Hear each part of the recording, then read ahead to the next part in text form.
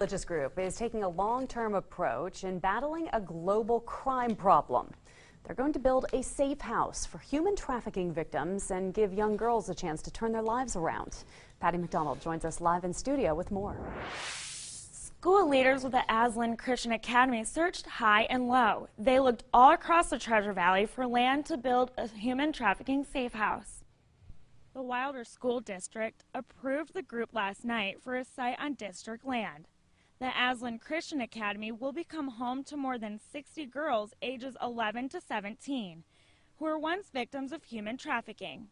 The school's leaders chose Wilder for the boarding school because it's a safe community for girls trying to rebuild their lives. We needed a rural area for girls that have been rescued from human trafficking, and we didn't want to be in a downtown center.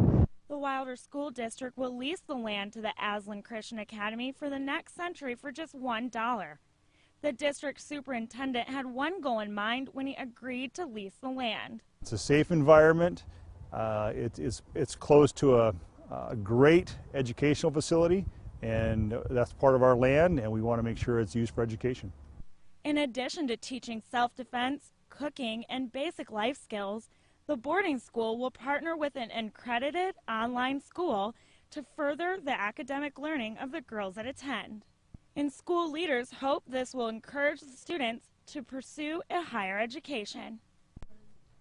The Safe House will also offer medical, dental, and eye care services.